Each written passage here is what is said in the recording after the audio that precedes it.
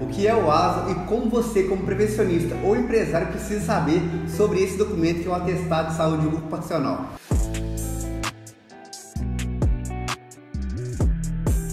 Fala pessoal, tudo bem? Eu sou o Ângelo Santos. Nesse vídeo vou explicar para vocês o essencial para que você entenda sobre o que é o atestado de saúde ocupacional. Isso é muito importante para você que é empresário ou até mesmo você que quer técnico de segurança ou engenheiro de segurança e não tem tanto domínio sobre a saúde ocupacional dos seus colaboradores ou dos seus empregados. Então vou trazer para vocês aqui pontos estratégicos da NR07 onde a gente vai mostrar a obrigatoriedade da realização desse tipo de exame e o resultado dele que é o ASO, né? E a partir daí, quais são os controles que nós devemos manter e qual a periodicidade que nós temos que fazê-lo para que isso seja realmente válido conforme a norma regulamentadora número 07.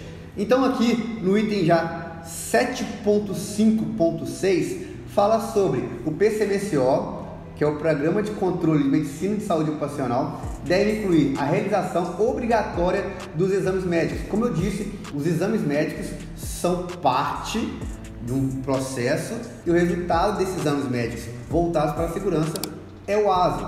Então ele tem que ser feito quando o profissional é admitido, quando ele é contratado, né? No formato periódico, né? Pode ser semestral, anual ou bianual do retorno ao trabalho, quando ele acontece um acidente, ele é afastado, por algum motivo ele tem que retornar.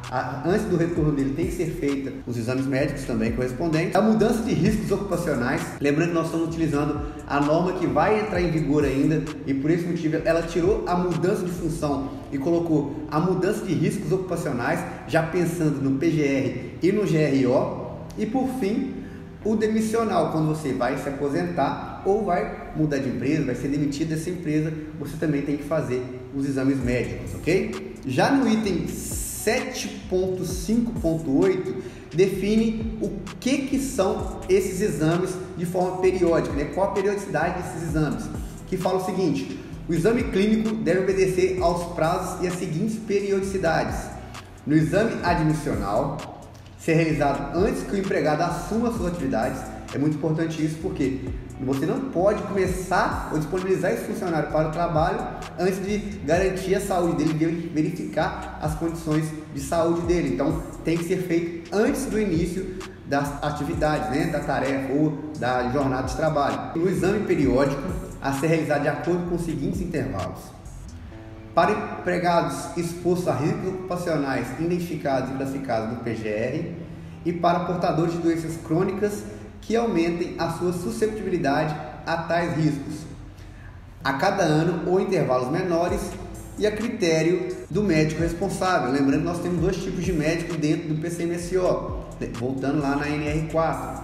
É, nós temos o médico coordenador, que é o que assina o PCMSO, e o médico do trabalho, né, que ele vai fazer a gestão quando exigir realmente essa função na, dentro do seu SESMIT. No item 2 aqui do 7.5.8, de acordo com a periodicidade especificada no anexo 4 dessa norma, relativo a empregados expostos a condições hiperbáricas.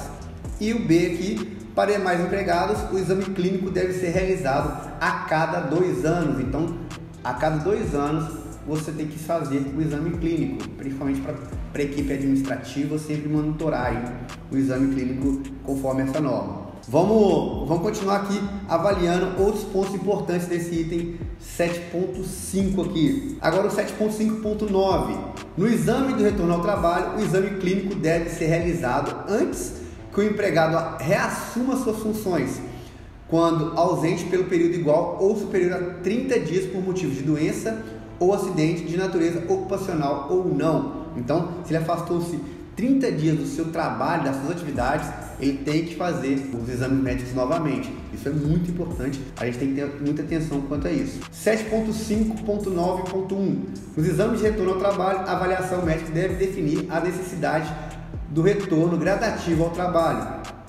Também fala no 5.10 que o exame de mudança de riscos ocupacionais deve obrigatoriamente ser realizado antes da data da mudança, adequando-se o controle médico aos novos riscos. Então, a gente tem uma matriz de risco, a gente tem um gerenciamento dos riscos lá dentro do PGR, né?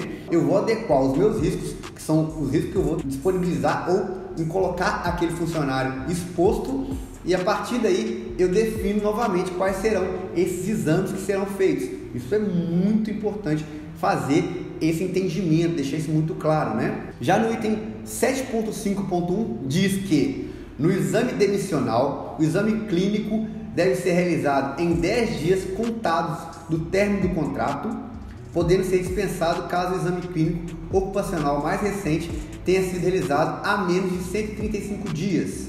E para organizações de grau de risco 1 e 2, a menos de 90 dias para organizações de grau de risco 3 e 4. Então, se você for demitir um funcionário, você tem que fazer o exame demissional dele em até um prazo de 10 dias. Isso é muito, muito, muito, muito, muito importante para a gente fazer uma boa gestão também. Já vamos passar para o outro item aqui, que é fundamental para que a gente possa avaliar de forma clara um ASO, que é o item 7.5.19.1, que fala: o ASO deve conter no mínimo a razão social e CNPJ ou cadastro né, da pessoa física da organização, o nome completo do empregado, o número do seu CPF e a sua função, a descrição dos perigos ou fatores de riscos identificados e classificados no PGR que necessitam de controle médicos previstos no PCMSO ou na sua inexistência. Isso pega muito, é muita não conformidade que a gente verifica em cima disso que a definição dos riscos do ASA. Então isso as clínicas que estão fazendo os exames médicos têm que atentar muito para isso. D. Indicação e data de realização dos exames ocupacionais clínicos e complementares a que foi submetido o empregado. E. Definição de apto ou inapto para a função do empregado. Isso é muito importante também, esse item E, que é o funcionário está apto ou não, ou inapto, né, para a realização das atividades. Trabalho à altura, espaço confinado, ele tem condições de saúde para a realização desse, dessa atividade, dessa tarefa? O ASO vai definir isso, ok? F. O nome e número de registro do profissional médico responsável pelo PCMSO, se houver, né? Lembrando que a gente tem sempre, no caso aqui, o médico coordenador ou o médico do trabalho, caso for ah, de acordo com o NR4, né? E o G, data, número de registro profissional e assinatura do médico que realizou o exame clínico. Então esses são os itens que devem conter no seu ato, ok? Aí uma pergunta muito importante que a gente tem que pontuar aqui também. Qual a importância desse ato, né? Como é fundamental a elaboração do atestado de saúde profissional? Gente, ele é a base para você cuidar da saúde do seu funcionário. A gente está pensando em disponibilidade. Todo empresário, todo, todos os funcionários da empresa pensam em disponibilidade. Então, para ele cuidar da saúde do colaborador e ter ele disponível, eu não diminuir ali os meus indicadores, né? É, é, muito importante que a gente gerencie a saúde das pessoas. Então, os, os exames médicos têm que ser feitos de forma periódica, o médico tem que gerenciar a saúde das pessoas que têm são mais suscetíveis né, a qualquer tipo de situação de risco, os hipertensos, o sobrepeso, tudo isso tem que ser envolvido para a gente avaliar e garantir sempre a, a, saúde do trabalhador e a disponibilidade dele para o trabalho. Então é isso, pessoal. Espero que você tenha gostado. Eu trouxe aqui informações básicas de acordo com a NR7, que é a norma regulamentadora número 7 do Ministério do Trabalho, atualizada já, né? Que ela vai ficar válida a partir de janeiro de 2022 Espero que você esteja já praticando esse formato, porque você já está bem próximo do que vai ser executado aqui e a gente faça realmente uma boa gestão, gerencie, analise o documento conforme, mantenha ele organizado, disponível para consulta e, se possível, criando indicadores em cima desse tipo de formato de documento. Espero que você tenha gostado. Quero te pedir mais uma vez aqui se inscreva nesse canal, é muito importante você se inscrever, curtir, deixar o seu comentário, mesmo que seja breve, para que o canal cresça e a gente chegue também a mais pessoas, ok? Até breve!